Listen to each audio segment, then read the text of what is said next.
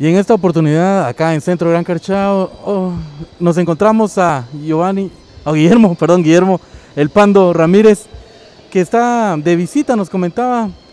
Pando, cuéntenos un poco de su visita acá a Alta Verapaz, específicamente a Carchá. Claro, que estoy con, con, mi amigo acá de Carchá, con Giovanni Lucas, visitándolo y, y aprovechando con la familia pues para vacacionar un poco. Ya conocía eh, específicamente Carchá, es primera vez, ¿cómo eh, se siente estar acá en tierras altaverapacenses? No, bien, bien, bien, contento, muy, muy bonito, la verdad, a lo que conocí hace varios años que jugaba con, con Municipal, venimos a jugar acá en Liga Nacional, hasta ahora nuevamente pues eh, vengo por acá y sí lo veo bastante cambiado, ¿no? Ha, ha mejorado mucho y, y lo felicito por eso. ¿Qué es de la vida de Pando Ramírez? Cuéntale un poco a las personas.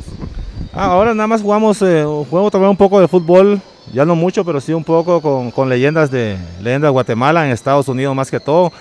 Eh, jugamos con leyendas de fútbol guatemalteco, oh, hemos jugado varios partidos contra leyendas Honduras, contra leyendas de México, eh, leyendas locales.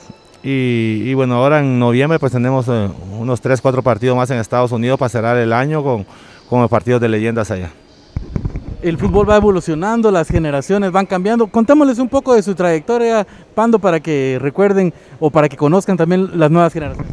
Sí, sí, tengo ya varios años de, de, que ya no juego, ya como 11, 11 años, 12 años más o menos ya no jugar profesional. Eh, sí, tuve la oportunidad de jugar en, en diferentes equipos, en, Jaguares de México, en Galaxy de Estados Unidos, en Grecia con Joanina, en Honduras con Maratón, con Motagua selección nacional y municipal acá en Guatemala y, y pues ahora ya, ya, ya fuera de lo que es eh, fútbol profesional, pero siempre haciendo un poco de deporte, como te lo voy a repetir con, con leyendas.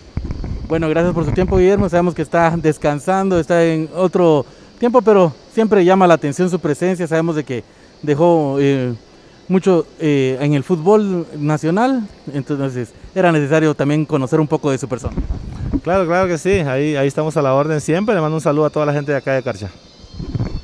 De esa manera estamos observando a Pando Ramírez en su visita a San Pedro Carchá en una etapa familiar y acá pasándola con amigos. Una transmisión en vivo de Samsung Informa, transmisiones a otro nivel.